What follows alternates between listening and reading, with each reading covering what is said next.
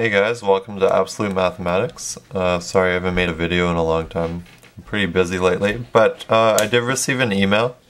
Someone was asking me if I could explain to them logarithms, and I remember having, I remember being a bit confusing in high school, so I thought why not make a video to help all those people that were like me back when I was in high school. So I do have quite a bit to cover. I've already tried making this video, but it ended up being really long, so I'm trying to go through it a bit faster. So if ever it's going too fast, just pause, read it out, rewind, watch it again. It should make sense.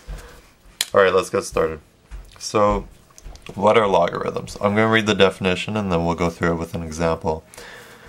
Uh, the log, log is short for logarithm. The log of an argument is the exponent by which the base must be raised so that it equals the argument. Okay, looks confusing. It's not really confusing, it's just because there's a bit of new language to you guys here. But we're going to clear that up. So basically, the log of an argument, all this means, this sentence right here, is this. So when you take the log of an argument, it equals something. So basically, our log of this argument is going to be, this is how you write it, but this is the answer to it. Alright, so x is our solution to that. So we can write x here, because that represents x is the exponent. So you guys all know an exponent is a power, right? 8 to the power 2. The 2 here is the exponent. By which the base must be raised. Okay, this is where the new language comes in. The base. This little 2 here, it's a little subscript 2. This is what's known as the base. Okay? So basically, what this is saying is that the log of an argument, so the answer, to our log is the exponent by which the base must be raised. So we know our base is raised to an exponent, x, and it must be raised so that it equals the argument. So this has to equal something. What is the argument? Here's a second bit of new language. The argument is this number right here the number that you're actually taking the log of. So the log of the argument, the solution, is the exponent by which the base must be raised so that it equals our argument. And our argument is 8. Okay, well look, we took something that was once very complicated to you guys, or maybe most of you guys, I shouldn't say all, but something you might have not understood before. This, this notation right here and then we put in a form that most of you probably now understand. You're like, okay, 2 to the power will give us 8. And most of you guys will know that 2 to the 3 will give us 8. So there you go. This is telling us that the answer x, the log of an argument, is the exponent. And we found that our exponent is 3. So the answer to log base 2 of 8 is equal to 3 and that's all it is. Okay, we just took something that might have been a little complicated before, we put in a form that you now understand, and there's your answer. Alright, so that's all there is to it. It's just like taking exponents. If you've never seen exponents before, let's take this one. 2 to the 3. Well, when you first saw this, it might have been like, I have no idea what that means. But then your prof tells you this just means 2 times itself three times. And then you're like, well, I know how to do multiplication, so I can do this. And you know that it's 8. Alright, so we're taking this, we're putting in a form that you understand, and then you can solve the problem. Okay? I think a lot of people are thrown off because in our other and other things we learned in math previously, like if we take the square root, we have one nice little sign for it. Whereas when you take the logarithm of a number, it seems kind of long and you have two different numbers here. You have an x on the other side and you have a word instead of just a symbol. So I think that's what confuses people, but don't be confused. Just like the square root means 64 to the 1 half, you can write this in a different form, in this form, that you guys will understand. Alright, so let's go on, do some examples, and I want to point out some important logarithms that you might see later on. So just to continue, we're going to start with log, log base 10 of 100 is equal to x. Okay, now remember, to find the solution, we're going to take the base. So the base is 10. It's right here. It's this little number. And the base to the power x is equal to 100. So the base to the answer is equal to the argument. Okay? So 10 to the power of what gives us 100? Well, everyone knows that 10 squared is equal to 100.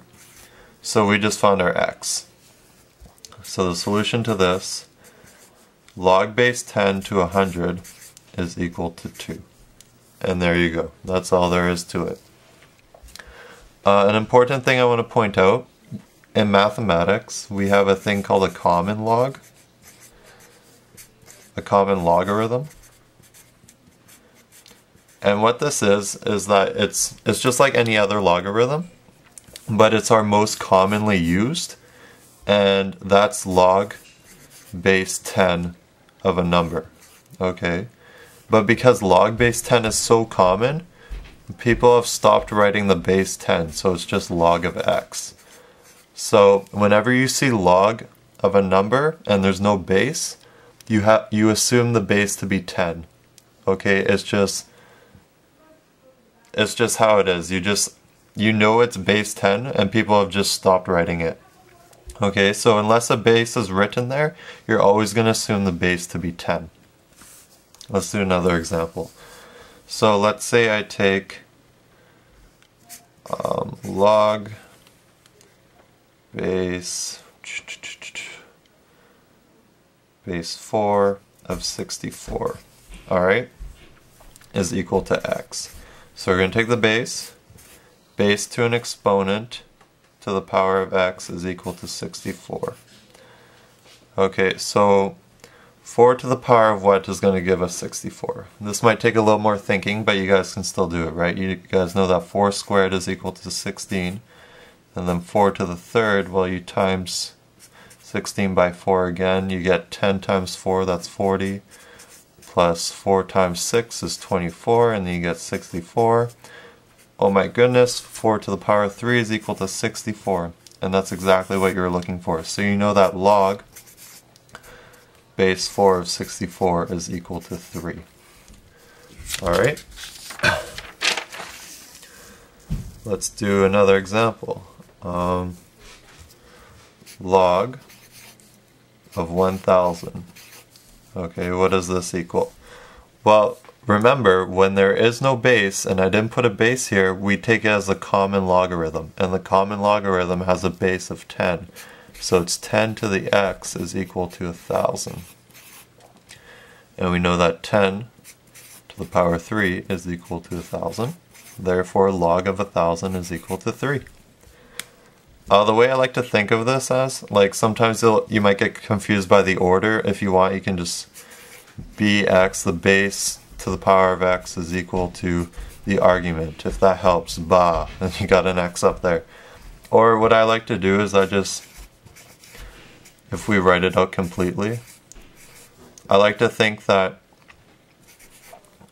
well, this might be x, but you can just sneak that x right between the two and then you'll have a 10 exponent x, and then just imagine an equal sign.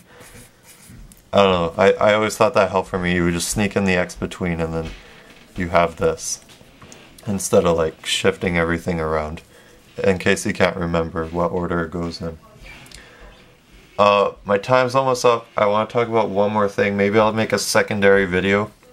Because this one was pretty intro, so maybe some people skipped it. In the second one, I'll talk about different things. Just one last thing though. I talked about the common logarithm. It's where it has a base 10 but no one writes it. There's also another logarithm. It's called the natural logarithm.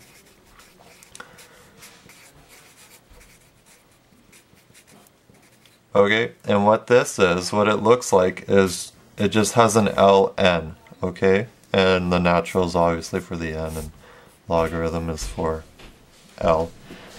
And the difference between this one and other logarithms is that this one is actually equal to log base e. Okay? And e, don't, don't get scared, e is just a number that equals approximately 2.718. Alright, so we can take this and write it as ln. And you might use this, don't be scared, it's just like any other log. Um, and mostly with problems like this, you're going to be using e, so you don't really have to worry. They'll put trick questions like ln of e, and this looks really complicated, but if we write it in the log form, you have log e of e, and this is equal to what? Well, remember, when we're solving for a log, we basically take the base to the power of what is equal to the argument. Well, e to the power of what is going to give itself? Well, any number to the power of 1 gives itself. So the answer to ln of e is, is just 1.